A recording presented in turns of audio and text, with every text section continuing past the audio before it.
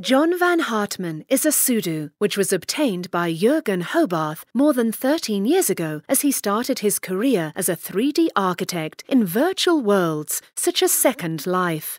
Johnvan was born in Austria in the countryside and has been fascinated by new technologies for as long as he can remember.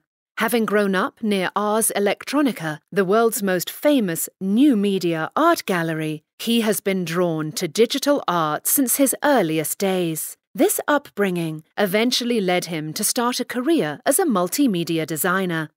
As Johnvan ventured out into the world as a professional designer, his love for all things digital art continued to grow, as did the opportunities around digital art. Also, in 2010, Johnvan Hartmann was invited to Ars Electronica not only as an attendee, but also as an assistant curator for Tele Internet Show by Aram Bartholl, a world famous new media and net artist from Germany.